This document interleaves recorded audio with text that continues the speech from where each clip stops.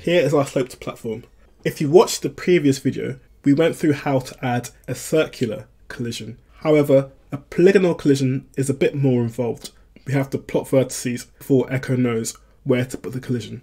If we go back into Figma, you'll notice each vertex here has an x and y coordinate. This is what we're going to use to plot our vertices for Echo. Luckily, I've already done this and I know the values of this specific shape already.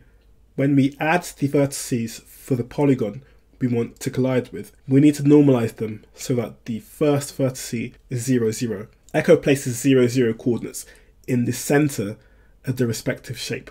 So in our case, that's here. If our first point is 0, 0, then that will put the overall collision here, which is not what we want. So what we'd have to do is move this shape to the left at exactly half of the width of the original shape, and then move it down at exactly half the height of the original shape. This might sound confusing, so what I'm going to do is write the code first and then explain what the code is doing. Let's create a new function and call it slope vertices. This is going to take an argument of the sloped platform as an FLX sprite and it's going to return an array of vector 2s. Now let's create a nested array of our coordinates that are on Figma at the moment. Now we need to normalize these values, and the best way to do that is to loop through each value in the array and minus them by the original one.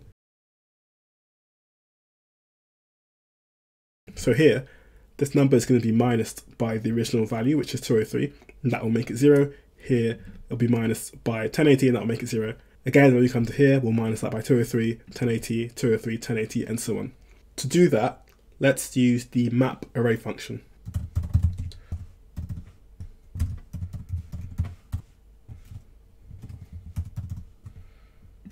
For those who don't know what a vector 2 is, just imagine a vector 2 is like an array with two values, but unlike an array, it doesn't need to be read in sequence. It can be read in any order, in random order.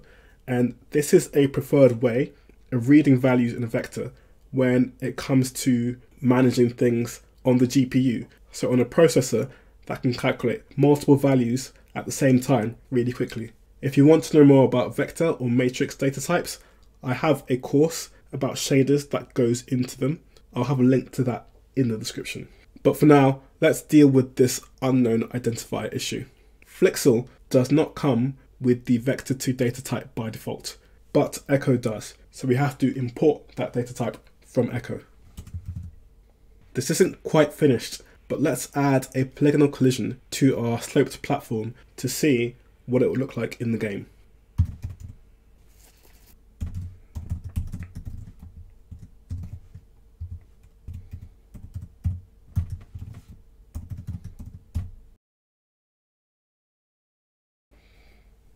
As you can see here, this is where our collision is for our sloped platform. Let's move it to the correct position. Let's get the width of the sloped platform and minus it by all the x coordinates.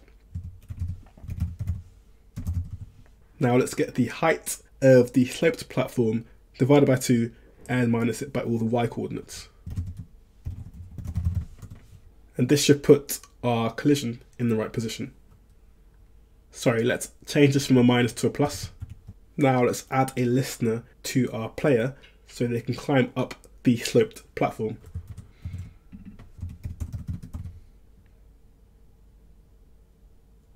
you can see how easy it is with Echo to add a slope to the game that our player can interact with.